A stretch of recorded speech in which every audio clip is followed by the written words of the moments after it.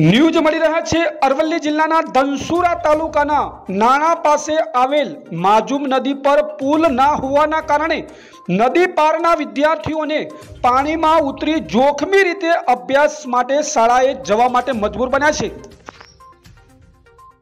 ધનસુરા તાલુકામાં આવેલ નાણા ગામ પાંચસો થી સાતસો ની વસ્તી ધરાવે છે. આ ગામ પાસે માજુમ નદી પસાર થાય છે. નદીને પેલે પાર અલવા અણખોલ સહિતના ગામો આવેલ છે. આ તમામ ગામોનો વ્યવહાર નાણા ગામ સાથે છે. નાણા ગામમાં આવેલ હાઈસ્કૂલમાં નદી પારના લગભગ સોથી વધુ વિદ્યાર્થીઓ અભ્યાસ માટે આવતા હોય છે.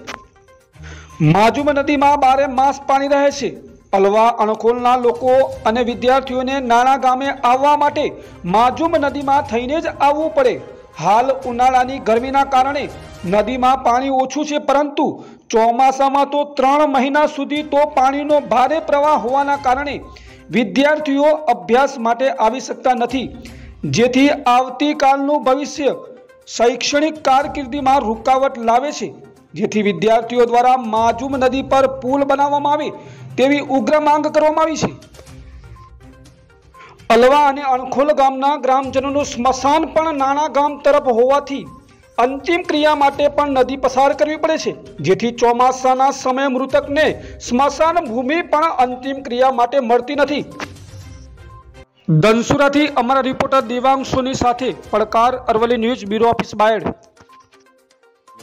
મારું નામ ધવલ છે. હું અણખોલથી નાણા ગામની શાળામાં ભણવા આવું છું. અને મારી સાથે બીજા પંદર વીસ વિદ્યાર્થીઓ પણ આવે છે અને નદીમાંથી પસાર થતાં અમને બહુ તકલીફ પડે છે. પાણી વધારે હોવાના કારણે છોકરાઓને ડૂબવાની પણ સંભાવના હોય છે. તે કારણે મારી માગણી છે કે નદી ઉપર પુલ બનાવો. મારું નામ વણકર રામાભાઈ પૂંજાભાઈ છે. હું નાણા ગામનો વતની છું. મારું ગામ માજુમ નદીની કિનારે આવેલું છે.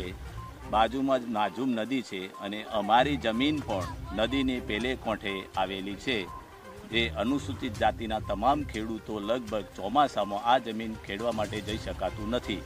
અને અલવા અને અણખોલના લગભગ ત્રીસથી ચાલીસ વિદ્યાર્થીઓ ચોમાસામાં પાણી હોવાને કારણે ત્રણથી ચાર મહિના તેમનો અભ્યાસ બંધ રહી જાય છે અને અભ્યાસથી આ બાળકો વંચિત રહી જાય છે. અલવા અને અણખોલના ખેડૂતોનું લગભગ કરિયાણા માટેનો વ્યવહાર, તેમજ દવાખાને આવવું હોય અથવા દૂધ ભરવા માટે આવવું હોય તો ચોમાસામાં તે ખેડૂતો આવી શકતા નથી. તેથી સરકારશ્રીને મારી નમ્ર વિનંતી છે કે નદી ઉપર પુલ અથવા ડીપ બનાવવામાં આવે.